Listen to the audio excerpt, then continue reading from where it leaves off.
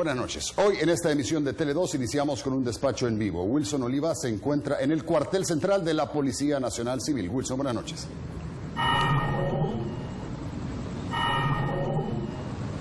Buenas noches, Ricardo. Amigos televidentes, un gusto saludarte. Pues en efecto, la Policía Nacional Civil confirmó y presentó a 7 de 14 capturados involucrados en el asesinato de 8 trabajadores de una compañía de distribuidora de energía eléctrica y tres jornaleros en la zona rural de Opico. Y también, pues, es un hecho que ha conmocionado a todo el país. Veamos. Una serie de disparos escucharon los pobladores del caserío Las Flores en el cantón Agua Escondida en San Juan Opico el pasado 3 de marzo.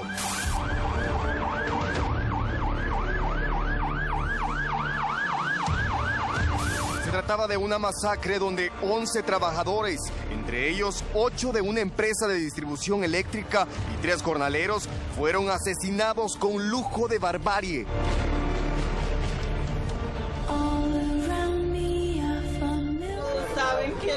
Adentro era mi esposo.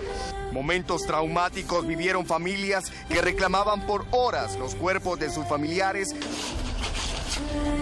Multitudinarios entierros, decenas de personas acompañaron los 11 sepelios pidiendo justicia por este cruel acto. Dos meses después,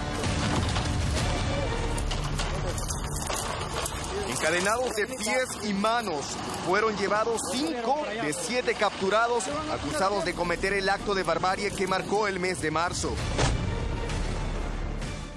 Quienes eh, participaron de este hecho son 14 sujetos, al menos 14 sujetos, miembros de la pandilla 18 que eh, operan o venían operando en la zona de Quesaltepeque y de Apopa.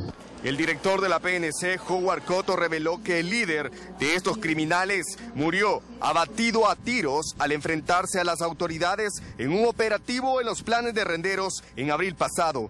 En este intercambio de disparos muere este sujeto, como digo, José Alfredo Valle Verde, que por cierto era el cabecilla de la estructura que cometió este hecho. Por ahora se encuentran siete prófugos de esta masacre, los cuales ya se encuentran en la lista de los más buscados por quienes las autoridades ofrecen una recompensa de 2.500 dólares a quienes den información sobre su paradero. Jorge Lozano, alias Fiera, Douglas Montano, alias Caballo Secreto, Nelson Lobo Salgado, alias Viejo Triste, y José Luis Polanco, alias El Enano, además, tres menores de edad.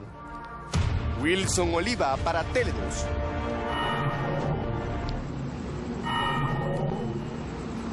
Así las cosas en este caso de la masacre de 11 trabajadores, Ricardo, en la cual el director de la policía hizo un llamado a la denuncia ciudadana, sin duda. Ricardo. Gracias, Wilson. Buenas noches.